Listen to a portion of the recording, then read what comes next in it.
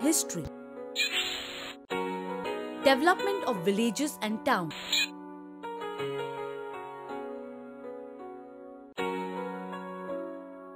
The kingdom played a major role in the prosperity of villages, towns, and cities within his territory. Development of irrigation, digging of canals, wells, tanks, and artificial lakes that were undertaken by the government helped to irrigate the fields and thereby increase agricultural productivity. They were also a means of employment to thousands of laborers.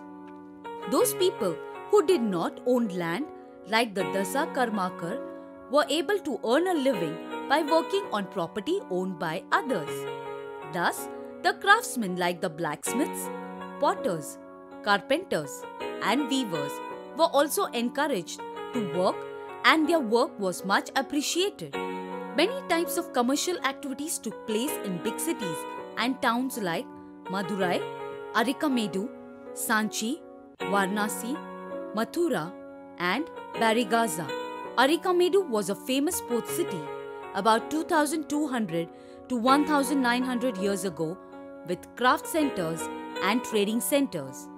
Trade relations between and many countries in the Mediterranean region flourished during this period. Tools Five centuries after the discovery of iron, nearly 3000 years ago, there is evidence that iron tools were used extensively. The megalithic burial sites were the main places where the largest collection of iron tools and weapons were found. It has been understood that iron sickles, tongs, and axes were used about 2500 years ago.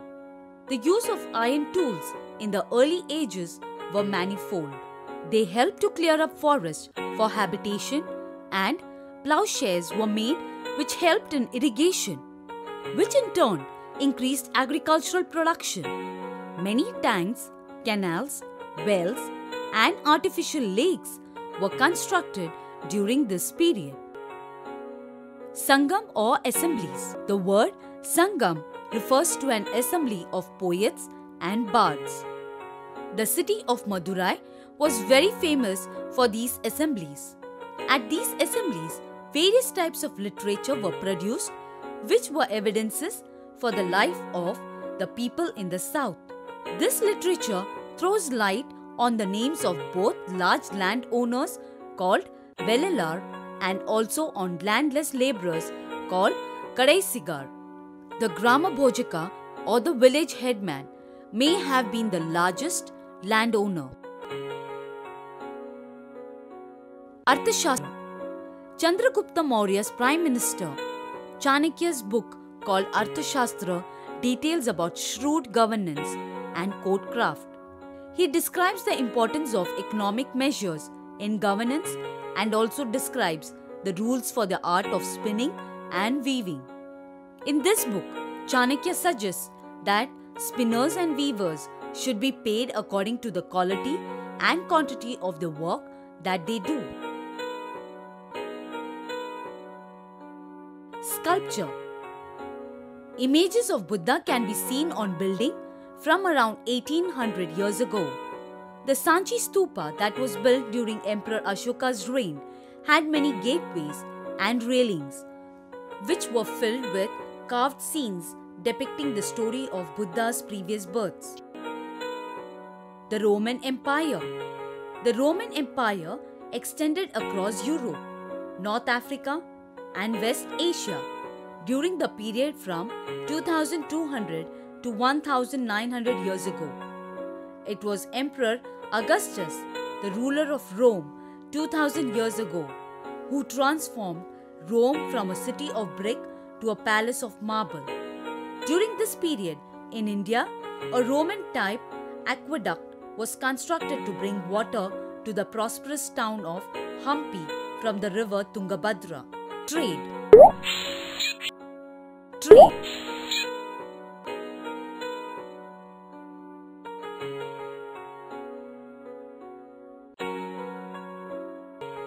Luxury articles from India like cotton textiles, steel, cutlery, spices, and pepper were in much demand in Rome by the kings and the aristocrats about 1800 years ago. Pepper was so expensive that it was called black gold. Initially, these items were taken via the land route in caravans, but due to the risk involved, they began to be shipped to Rome. The payment for these goods was in gold coins, so much so that complaints arose in Rome that all their gold was going to India.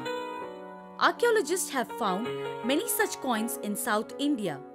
From the Sangam literature, we can also understand that other items like gems, gold, sandalwood, corals, agricultural produce, foodstuffs, and pottery were also traded. In South India, about 2300 years ago, the Cholas, the Cheras, and the Pandyas became powerful.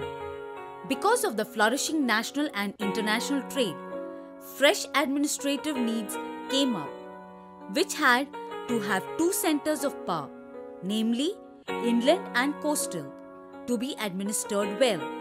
Around 2000 years ago, the Satavahanas, who were called the Lords of Dakshinapatha, ruled western and central India. During this time, northwest India was ruled by the Kushans, and they got the already popular Silk Route under their control.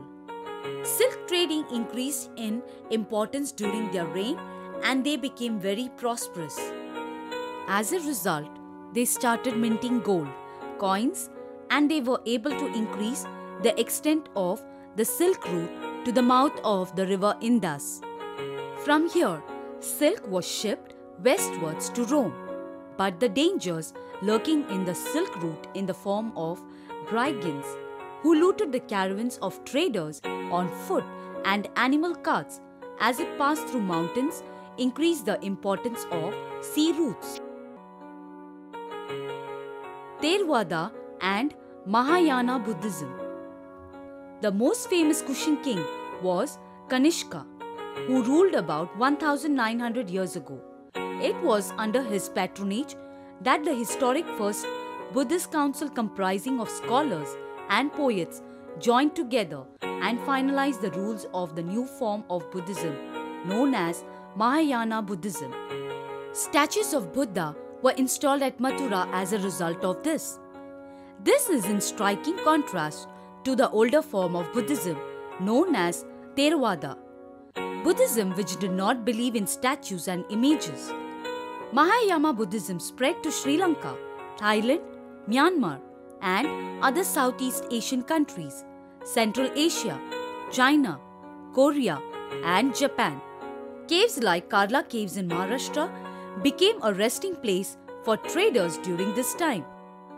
Trade Centers of pilgrimage and culture.